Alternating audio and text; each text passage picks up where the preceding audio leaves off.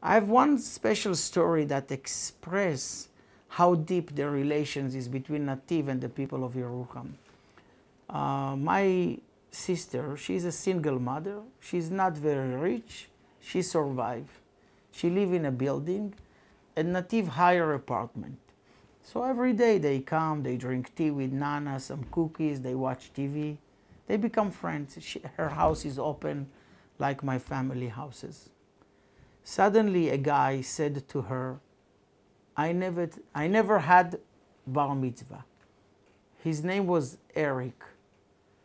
And she said, What do you mean you never had a, a bar mitzvah? You are a Jew. He said, I lived in a small town, no synagogue, no Jewish federation, nothing.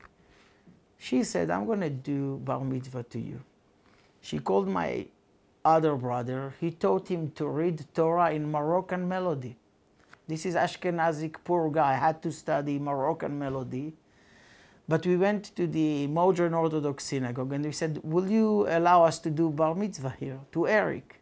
So Eric learned Moroccan melody and did in Ashkenazic synagogue bar mitzvah. And people cried there because he said, I got my better Jewish identity in Yeruham. And I heard lately he's uh, working for someone and he sent regards to me. He become a leader in the Jewish world, this Eric. Do you know something about him?